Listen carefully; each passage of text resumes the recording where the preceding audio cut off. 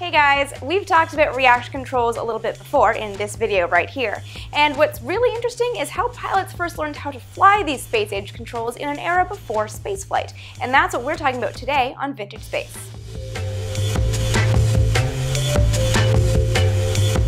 Reaction controls are used to orient a spacecraft in a vacuum.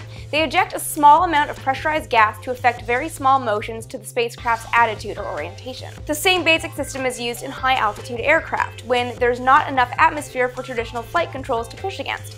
Again, there's a little bit more on that in this video right here.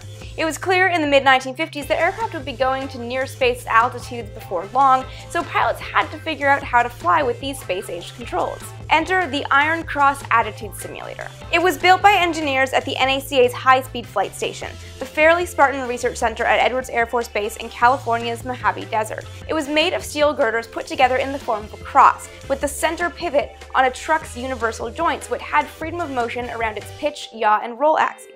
On the ends of the girders were nitrogen-powered thrust rockets, the four ends of the cross were meant to simulate the four tips of an aircraft the nose, the tail, and the two wingtips. On each of those ends was a reaction control, a small thrust rocket that shot out pressurized nitrogen gas to effect a small motion. On the forward end of one of the girders was an open seat facing away from the central pivot, and facing the seat was a simple display of three instruments showing information about the aircraft's pitch and bank angles as well as its angle of side slip. This turned the seat into basically a simplified open cockpit. So pilots would sit in the seat and use the information on the displays to engage the thrust rockets, bursts of compressed gas moving the cross on its universal joint.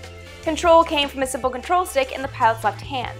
Roll was maneuverable by twisting the wrist, and pitch was maneuvered by pushing the stick forward and backwards. The hardest part for the pilot was figuring out just how much thrust was needed to balance out the Iron Cross. And the displays weren't exactly great. They barely correlated to the real thing, such that some pilots who trained on the Iron Cross found that the simulation really didn't help them that much when they found themselves at altitude flying with reaction controls. In 1957, several hydrogen peroxide rockets were mounted on the wingtip, aft fuselage, and tail of an X-1B. That's a second generation X-1.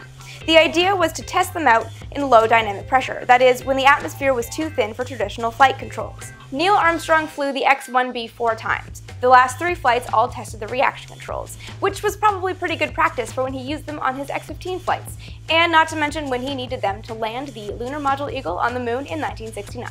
So, after learning a little bit about reaction controls and how they were tested, do you guys have any more questions? Let me know in the comments below, and don't forget to follow me on Twitter as AST Vintage Space for daily old-timey space updates. And, of course, with new episodes going up every single Tuesday and Friday right here, subscribe so you never miss an episode.